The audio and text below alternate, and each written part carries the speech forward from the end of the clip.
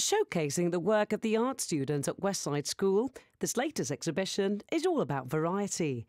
The work and show is a cross section of the different abilities and styles, with students exploring their chosen topics and themes as part of their GCSE and A level work, from sculptures to painting, installation, and even video art. Well, we try to push them as much as possible in order for them to investigate certain aspects. Uh, it relates to what they're interested in but um, what you see in here is the final product, really, the, the, the final response to each project. Every single painting or sculpture or the video art has a project that goes with it, and they investigate different artists to influence the work, they investigate different possibilities, ideas, and then they finish with what you're seeing now.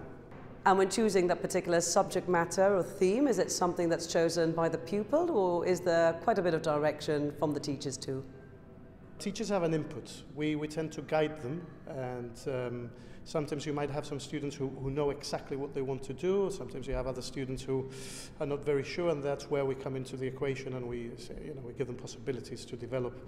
Uh, but mainly we encourage them to think about their own possible topics because we feel that if they're interested in the subject, they're going to be more interested in developing ideas and, and coming up with uh, work which is suitable for, you know, for the courses. Around 50 works are on display, with the teachers keen to show off the work being produced. It's also about giving the public access to the students' creative abilities. It gives the girls an opportunity to exhibit their work, to, um, to experience what it is to be an artist within the community and not have their work just um, stay within the context of school. Um, and in, in another sense, obviously, the community gets a, a, an open invitation to view the work which is produced in school, which they would not be seeing otherwise.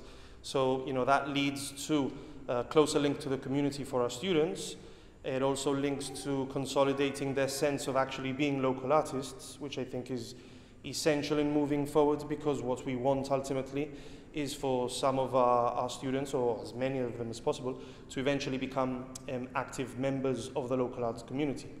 Well, as teachers, you're obviously following a curriculum, but with regards to the development of uh, art and what's being produced, are there any particular areas that you'd like to pursue further? What we try to ensure is that they are producing creative work, that they try to find their own, own voice, which is very hard it's hard for adult artists, so it's extremely hard for students, but we just want to facilitate the process of them trying to find their own voice. If that means them producing photography, installation work, um, as a department, we're trying to branch out as much as possible because art is branching out and art is you know, no longer just strictly sculpture and painting. It's our responsibility to give them exposure to new art forms um, and to ensure that they know that they can express themselves in the art form that best suits their skills and their interest level.